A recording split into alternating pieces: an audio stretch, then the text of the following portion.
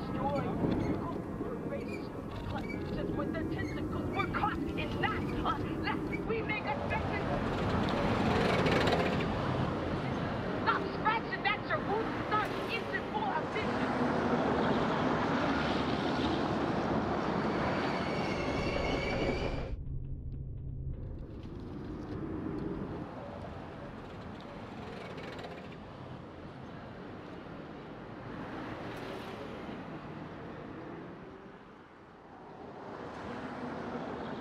start up there where the water comes out, make a pipeline, bring the stormwater down from 18 feet down to the grade of the wetland. There's a crane.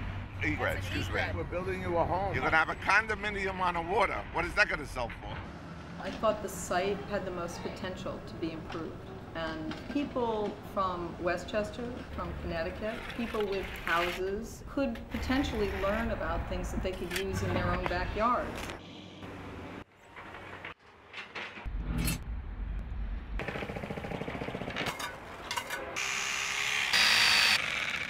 making a swamp.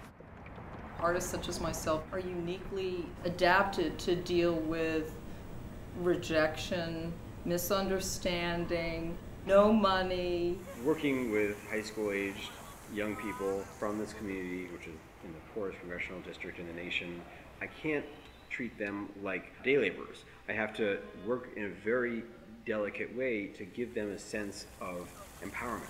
Look at my nails. Me and white boy been here the whole time working. We need a break. This is not fair. We started looking at places on the river with a hydrological engineer who said it would be much better if we could just treat the stormwater coming off of the ABC parking lot. There aren't very many people who make projects that actually clean the water.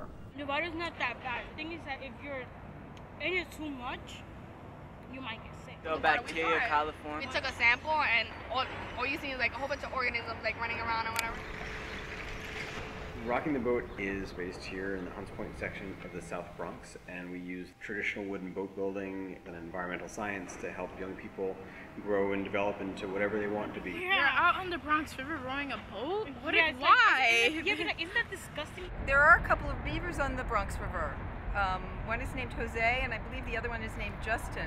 The contractor that I have, he does the most sculptural things with these huge machines. He's the man.